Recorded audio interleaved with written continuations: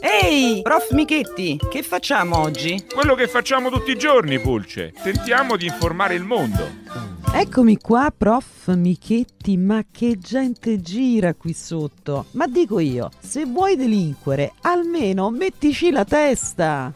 Di che parla Pulce? Di un tizio mi permetta uno scemo, ma puoi condurre per strada contemporaneamente due biciclette senza che la polizia ti noti? Ma vuoi farti arrestare? Proprio qui sotto, prof Michetti, se lei ha una bicicletta parcheggiata, controlli se c'è ancora, perché altrimenti se si affaccia vedrà quel brutto ceffo con i poliziotti che lo stanno interrogando per strada. Chissà che scusa inventa.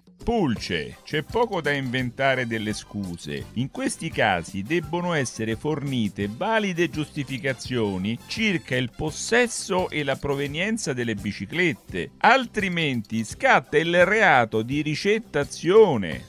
Ma la ricettazione c'è anche se non risulta alcuna denuncia di furto di quelle biciclette?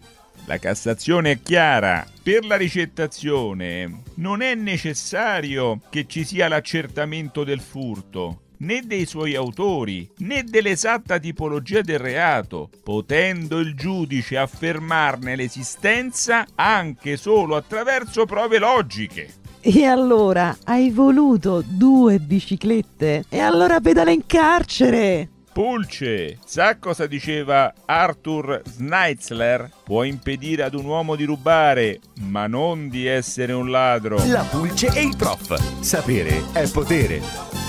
Prof, prof, prof.